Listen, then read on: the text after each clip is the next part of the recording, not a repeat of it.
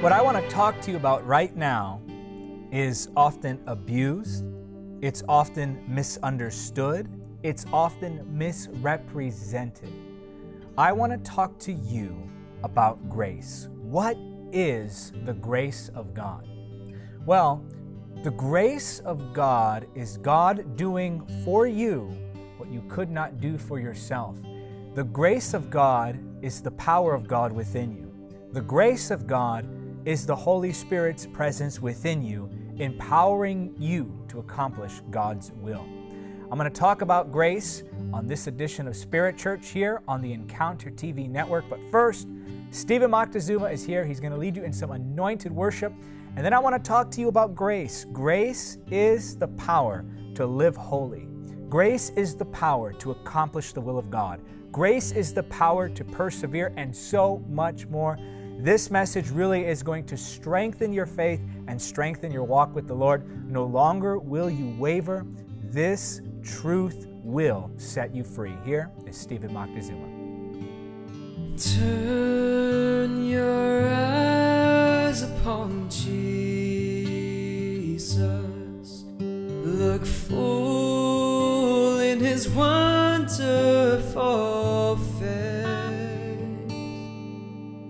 and the things of earth will grow strangely dim in the light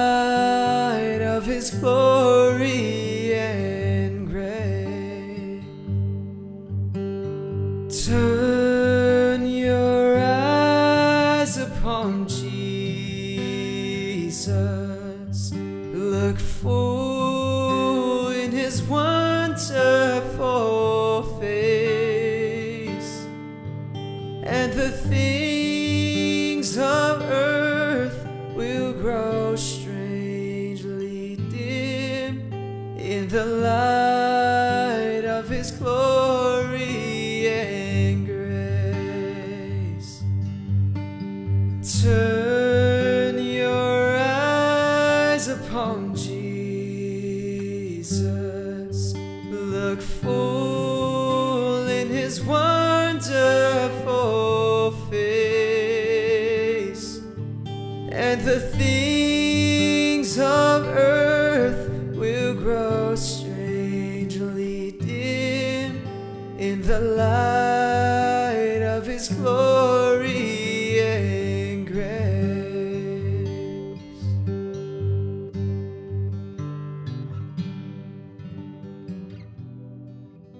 to get right into this. First of all, I want to tell you what grace is not, because often you've heard of grace being abused. The scripture makes it very clear that the grace of God is not an excuse to live an unholy life.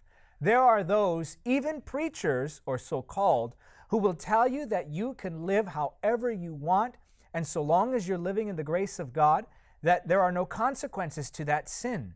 But the truth is that the Bible makes it perfectly clear that God demands of us, God requires of us holy and righteous living. So, I want to read a scripture to you that's going to first of all lay the foundation, teaching you what grace is not and how prophetic this scripture is. Jude chapter 1, verses 3 through 8 say this Dear friends, I had been eagerly planning to write to you about the salvation we all share. But now I find that I must write about something else, urging you to defend the faith that God has entrusted once for all time to his holy people. I say this because some ungodly people have wormed their way into your churches, saying that God's marvelous grace allows us to live immoral lives. The condemnation of such people was recorded long ago, for they have denied our only Master and Lord Jesus Christ. So I want to remind you, though you already know these things, that Jesus Christ first rescued the nation of Israel from Egypt, but later he destroyed those who did not remain faithful. So I'm going to stop here just for a second, then I'll read the rest of that portion of Scripture. There are some who teach that because we are living in a period of the grace of God, that there is therefore no more judgment, no more punishment for sin. But the scripture here is making it perfectly clear that there still are consequences to sin. Let's continue reading. And I remind you of the angels who did not stay within the limits of authority God gave them, but left the place where they belonged. God has kept them securely chained in prisons of darkness, waiting for the day of judgment, or the great day of judgment. And don't forget about Sodom and Gomorrah and their neighboring towns, which were filled with immorality and every kind of sexual perversion. Those cities were destroyed by fire and serve as a warning of the eternal fire of God's judgment. Verse 8 In the same way, these people who claim authority from their dreams live immoral lives, defy authority, and scoff at supernatural beings. So here the scripture is making it very clear that though we are under the grace of God, though Jesus did pay the penalty for our sins, that we are not to abuse that grace to live immoral lives. Now, I'm not talking to the believer who is struggling and making an effort in holiness. I'm talking to the one who is stubbornly refusing to turn from sin, clinging to grace as, in this context, a false hope. Grace does not do a thing for the one who will not attempt to walk with God, for the one who does not try. It's all about the heart, it's all about the position of repentance in the heart. So, that scripture, that portion of scripture, makes it absolutely clear. We are not to live immoral lives. We are to live in holiness. We are to live in righteousness. We are to live for God's will. So, don't go on sinning saying, well, the grace of God allows me to do so. That's not at all what the scripture teaches. But the Bible does teach that God's grace empowers us. You see, the grace of God is more than just unmerited favor, as you've often heard it said. You see, unmerited favor means that God gives us something we don't deserve.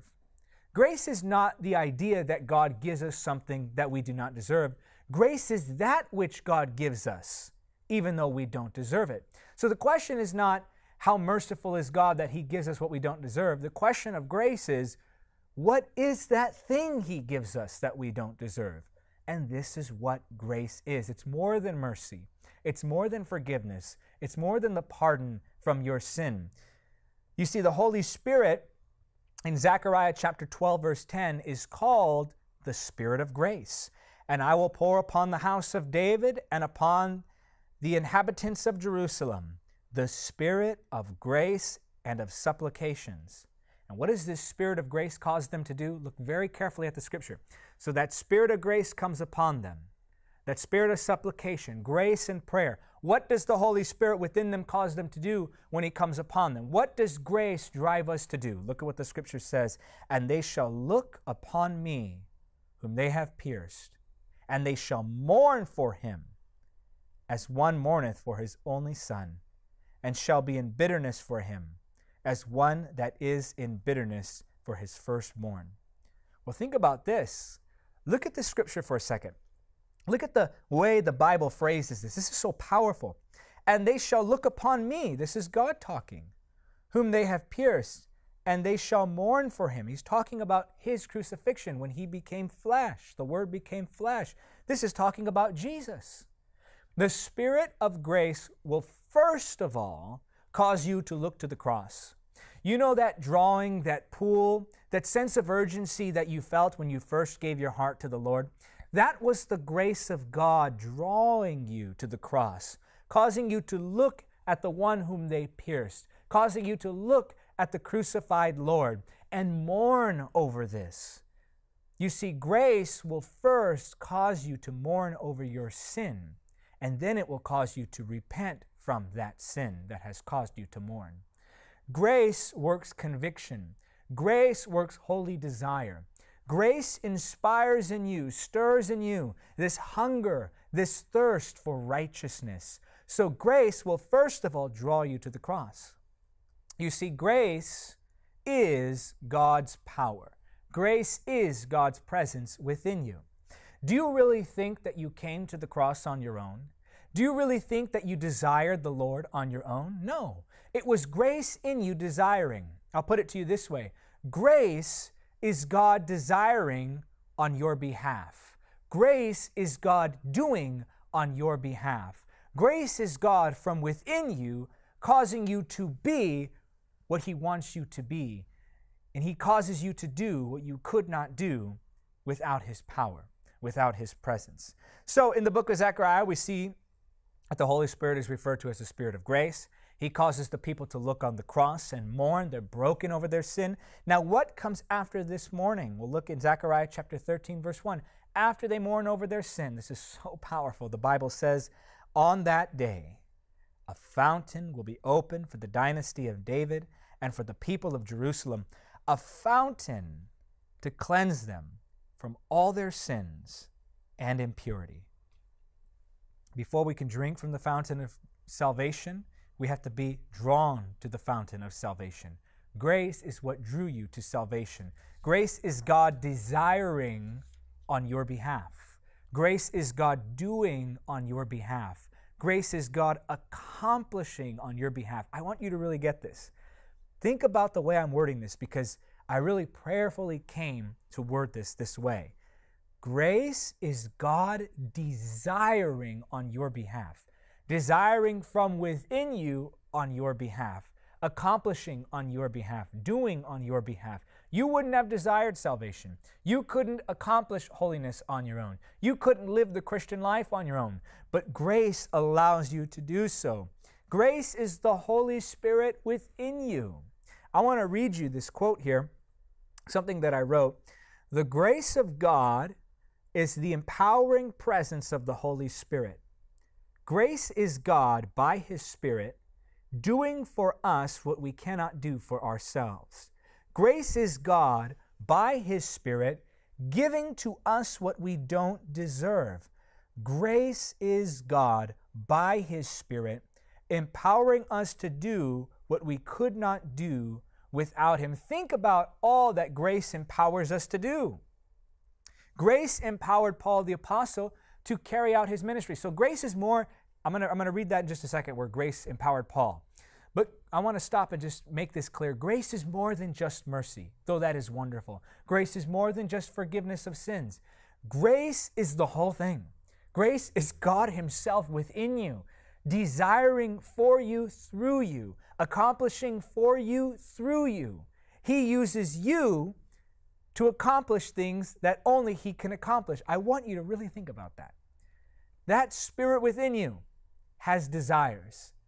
And His desires are so strong that from within you, they overtake even your desires. His power is so great that that stirring within you works through you and accomplishes on your behalf what you could not accomplish. You couldn't desire to resist sin. You couldn't desire to come to Jesus, but grace empowers you to do so. And it does so much more. As I said, grace empowered Paul the apostle to carry out his ministry. 1 Corinthians chapter 15 verse 10 says, "But whatever I am now, it is all because God poured out his special favor on me, and not without results. For I have worked harder than any of the other apostles, Yet it was not I, but God who was working through me by his grace. The ministry of Paul the Apostle, the writer of many of the books in the New Testament, he accomplished his ministry. It was carried out because of the grace of God within him. He says, It wasn't me doing it, it was the grace of God working through me on his behalf. The scripture also says in Hebrews chapter 10, verse 29, how much more severely do you think someone deserves to be punished who has trampled the Son of God underfoot, who has treated as an unholy thing the blood of the covenant that sanctified them, and who has insulted the Spirit of grace? Grace enables us to resist evil desires. You're struggling with sin. You're tired of being broken. You're tired of the sense of shame. You're tired of the guilt. You're tired of being frustrated with yourself because you can't stop doing again and again the things that you know you shouldn't do. Well, grace is the answer because grace is the power of God doing for you through you. This is what the Bible says about grace and sin. James chapter 4 verse 6 says, "But he gives us even more grace to stand against such evil desires." As the scriptures say, God opposes the proud, but favors the humble. This is why the Bible says, where sin abound, grace much more abounds. It doesn't say that because God is more forgiving, the more stubborn we are in our sin. Not at all. God is just as forgiving as He'll ever be. All He requires is repentance and faith in Him. No, that scripture where sin abound, grace much more abounds. Grace has to abound more because the greater the sin, the stronger the power of sin, the greater the grace needs to be to help you to overcome it, not to cover it. Grace gives you the power to resist sin. Grace teaches us to deny ungodly desires. Now, think about this grace is actually a teacher. Who does that tell you is in you? Who does that remind you of? That's the Holy Spirit, the Spirit of grace. Titus chapter 2, verses 11 through 12 say, For the grace of God that bringeth salvation hath appeared to all men, teaching us that denying ungodliness and worldly lust, we should live soberly, righteously, and godly in this present world. It is by the grace of God that we serve Him acceptably. Hebrews chapter 12, verse 28 says, Wherefore, we receiving a kingdom which cannot be moved, let us have grace whereby we may serve God acceptably with reverence and godly fear. You know, one of my favorite portions of Scripture describe this battle that Paul the Apostle is having. He's having this battle with some struggle in his flesh. Now, theologians debate as to what this might be. I'm not going to get into that.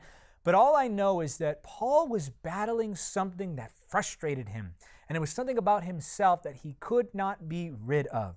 2 Corinthians 12, chapter 12 verse 7 through 9. This is powerful. This is what the Bible says. Verse 7, even though I have received such wonderful revelations from God, so to keep me from becoming proud, I was given a thorn in my flesh, a messenger from Satan to torment me and keep me from becoming proud. Three different times I begged the Lord to take it away. He's not just asking casually, Lord, remove this. Three separate times he begged the Lord. He pleaded with God in his frustration and in his anguish. He begged the Lord to remove this from his flesh. How many of us have things like that where we're just frustrated with ourselves? I, I, I cannot stand my own flesh, and I know you can't either. How many times have we said, Lord, help me to change, help me to transform? Take this from me. But God didn't. This is what He says instead. This is so powerful. Each time He said, My grace is all you need. My power works best in weakness. So now I am glad to boast about my weaknesses so that the power of Christ can work through me. Many of you know I have had battles with anxiety. That's been a battle since I can remember. Seven years old, I remember it being in my life as early as, as that age. And I remember battling with it to the point where I couldn't leave the house, or I couldn't drive in cars, or I couldn't enjoy everyday life because the fear was so crippling. And those of you who've battled anxiety, you know that it's not just some fear that people can tell you, oh, get over it. It's something that goes much deeper than that. And so, that fear, that anxiety, I would plead with the Lord God, please remove this from me. And I would be frustrated. I remember praying those prayers, my whole body would tense up, and I would say, God, remove this anxiety from me. But each time I thought of this scripture, my grace is sufficient. You see, I may sometimes have anxiety, but anxiety will never have me. My grace is sufficient. It's in our weaknesses His power is perfected. Why? Because our flesh, our weaknesses drive us to the cross. They drive us to grace. They drive us to say, Lord, I can't do this on my own. I need your power. I need you to do for me what I cannot do for myself, but I need you to do it through me from the power within. His grace is sufficient. What does that mean? It means that grace does not rid you of your problems, it gives you the strength to endure them. Grace does not rid you of the flesh, it gives you the strength to subject it. Grace does not remove you from all temptations, but it gives you the strength to say, No, I'm going to live righteously because it's God desiring for you through you. Grace is all we need to overcome the weakness of the flesh. 2 Corinthians chapter 12, verse 8 and 9, we just read it. He said, My grace is sufficient. In other words, we don't need any more than that. You already have what you need to overcome it. Stop being frustrated. Stop stressing. Stop obsessing over it and just say, Lord, I need your grace. Grace and holiness are not opposites, they are the perfect balance. Grace is the power to live in holiness. Grace is not an excuse of sin, grace is the power to resist sin. Psalm chapter 143, verse 10 says, Teach me to do your will, for you are my God. And I love this. May your gracious spirit lead me forward on a firm footing. The Holy Spirit within you helps you to resist the temptations around you. Galatians chapter 5 verses 16 through 18 describe how the Holy Spirit fights the flesh. He comes against the sin nature. And it's more than just fighting sin. Like I said, he empowers you to do ministry. He empowers you to persevere. He empowers you in many areas of life Grace is God doing for you what you cannot do for yourself, but He does it through you. He even desires on your behalf. Think about this you're not left alone to fight that battle. I love how Psalms words this. Psalm chapter 141, verses 3 through 4 say, Take control of what I say, O Lord, and guard my lips. Don't let me drift toward evil or take part in acts of wickedness. Don't let me share in the delicacies of those who do wrong. Psalm chapter 39, verse 8. This is probably one of my favorite prayers. Rescue me from my rebellion.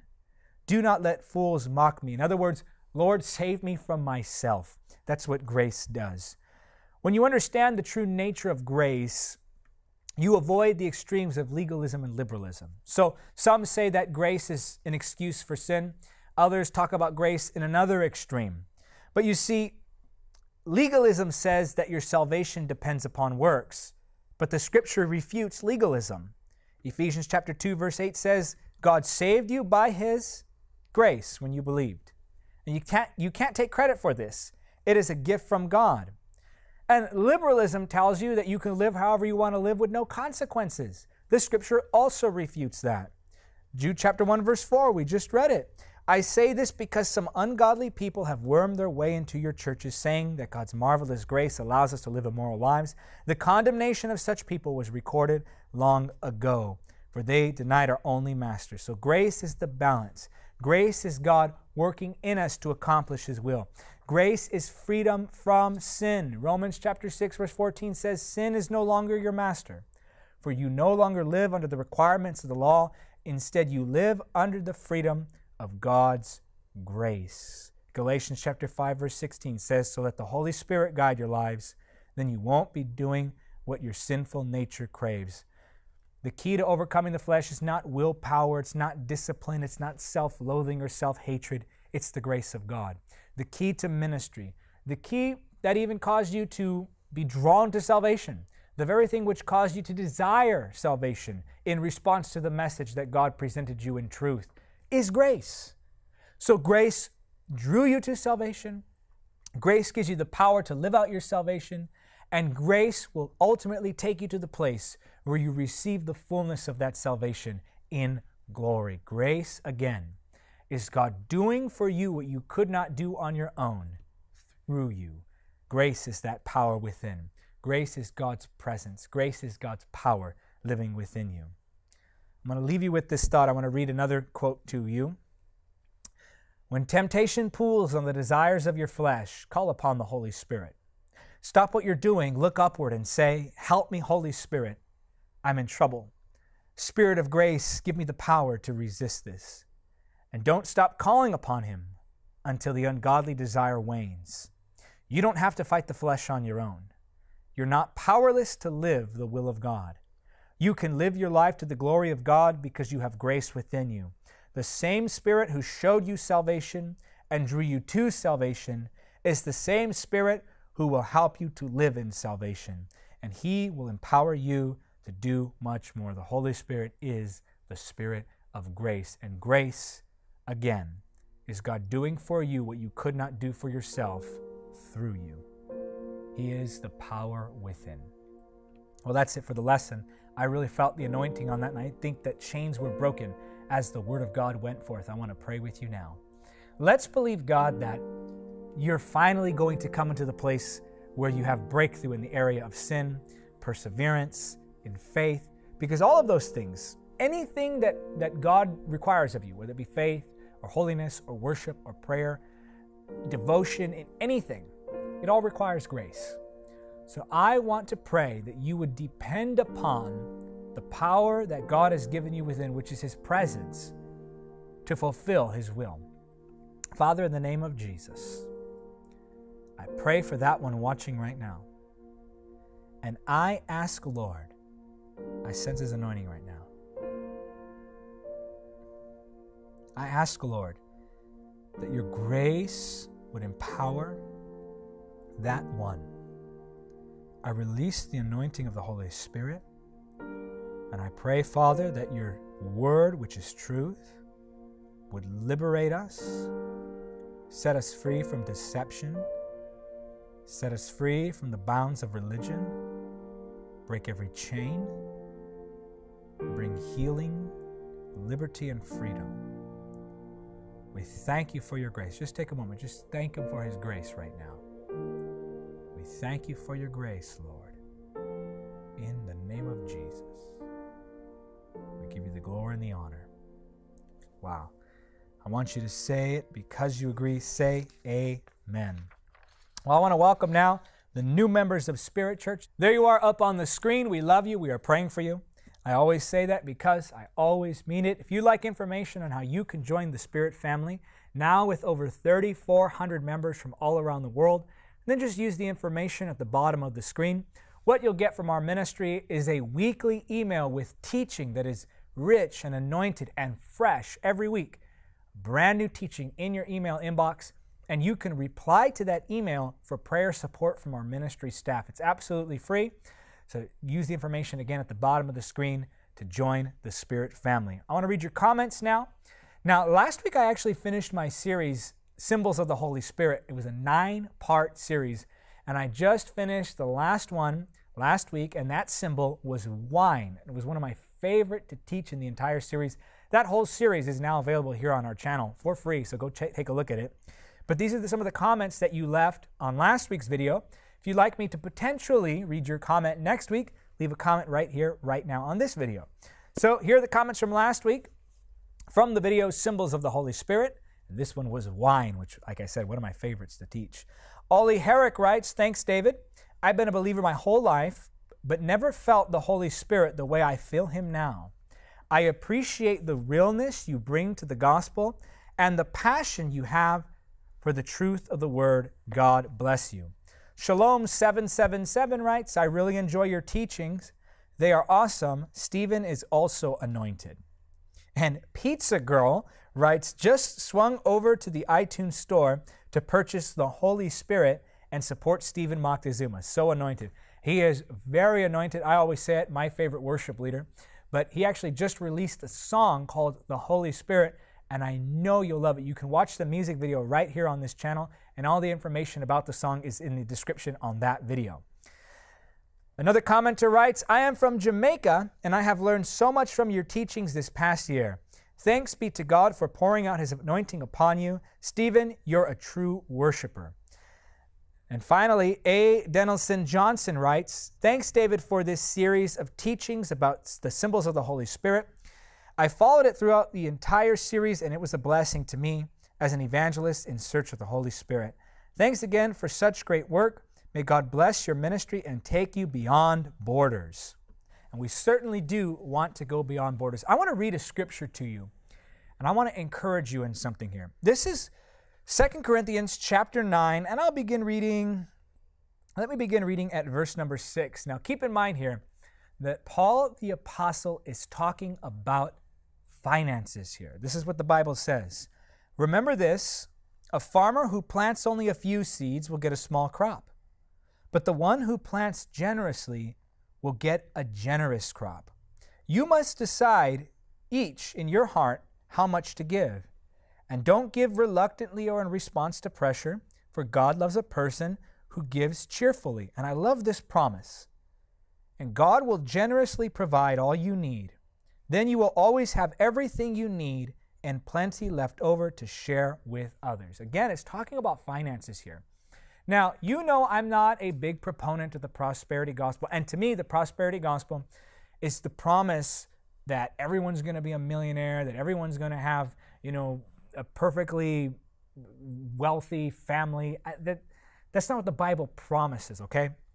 But what the Bible does teach is that there is financial provision for those who give to the gospel. And so I don't cross any lines. I like to keep things just biblical. I don't want to cross any lines and start preaching prosperity. And you know, I've pledged this from day one, guys. I'm not going to preach the prosperity gospel.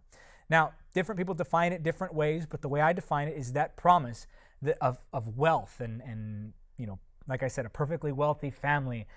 And I don't even necessarily believe that every believer is going to be a millionaire. I don't believe that, that that's the central message of the gospel. It's not. The central message of the gospel is salvation through Jesus Christ and Jesus Christ alone, the repentance from sin, the cross, the resurrection. This is the gospel. But in order to support the gospel, the Bible does talk about money. So when I talk about money, I'm not changing a focus, and neither should you. But we do need to talk about these things because there are needs in the ministry. And Paul the Apostle talked about giving. I'm going to talk about giving. The Bible makes it clear, and that, I'm going to make a very hard stance on that. I do believe that the Bible talks about finances. So, what does the Bible promise here? It says that if you give generously, you'll harvest a generous crop. Now, you aren't to give into pressure. You aren't to give reluctantly. I'm not going to pressure you. I'm not going to tell you that if you sow $30 today, you're going to be debt free in 60 days. I mean, those are gimmicks. I don't use those.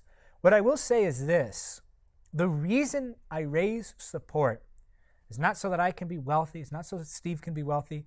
It's so that we can continue to fund the efforts of the ministry, and that is simply to build the believer and win the lost. That's our heart. That's our that's our, our heartbeat, which is to win souls. The Bible says that when you give generously, you'll have everything you need, so your needs are met, and plenty left over to share with others. There are people watching me right now. In your heart, you're saying, God, I want to be someone who gives to the gospel. I want to be someone who can help others, who can fund ministries, who can fund missions projects and orphanages and feeding projects and churches. And all of that is wonderful. But here's how you start. Whenever you give, you're telling the Lord, Lord, you can trust me with your finances. And he watches to see what, he what you do with what he's placed in your hand. And so I want to challenge you today. Often we say, God, bless me and I'll give. When I get that job, when I get that promotion, when I get rid of the debt, when I'm out of school, then I'll start giving. We say, God, give me and I'll start giving. Bless me and I'll give. But God says, give and I'll bless you. The step of faith is on us. So I want to encourage you with that scripture to sow into the ministry today. Help me take the gospel all around the world. This is about souls. We want to change this world. We want to think big. We want to do larger events. We want to release more media. Many of you know we're working on that TV studio right now, which will be releasing some updates in the next couple months. Very, very exciting for those of you who've given to that. But right now, we're just in a season of growth. And you watch, mark my words, you're going to see a day when stadiums are being filled and thousands are coming to Jesus, and you're going to help us to do it. This is only the beginning. Think big. Think with faith. We're going to change this world. Revival is here. The power of God is on this ministry. The anointing is with us. We have the favor of God. Join us. Become a supporter of the ministry today. Become a partner for $30 or more a month, and I will send you as an initiation gift. Again, this is monthly gifts, not one time gifts. You sign up for $30 or more a month. We'll send you either Carriers of the Glory, 25 Truths About Demons and Spiritual Warfare, or Encountering the Holy Spirit in every book of the Bible. I will sign it. That'll be my initiation gift to you. Partner with me today. If you can't partner, look, some of you, you can't do monthly, but you can do one time. You can give a one time gift of 500 or even a 1,000. I know there are some who God has spoken to. In fact, I believe there's someone watching right now. God's spoken to you about an amount, and in your heart you're withholding. Let me tell you something. I believe this Bible through and through, and I would be doing you a disservice if I didn't talk to you also about giving. So, giving is necessary. That's the, that's the system God has chosen to take advantage of for the sake of the gospel. The gospel is free, but the means to deliver it nowadays gets quite expensive. So help us do that. If you're watching this on YouTube, wait until the very end of this video. You're going to see a red button appear, and you're going to click that, and it's going to take you right to where you can donate. If you're watching this on the app, wait till the video goes away and you'll see a button that says Partner with David. If you're watching this anywhere else, use the information at the bottom of the screen. But whatever you do, do it today. Sign up to become my partner. Say, David, I'm going to stand with you and Stephen, and we're going to do this. Uh, A. Denelson Johnson wrote, he wants to see us go beyond borders. Well, we want to go beyond borders too. We want to go to the nations. Let's do this, guys. So partner with us today. Think big. And until next time, remember, nothing is impossible with God. Thank you for watching Encounter TV. Don't forget to subscribe. Also, help me win souls by spreading the gospel through events and media. Make a one time donation or become a monthly supporter by clicking on the donate link now.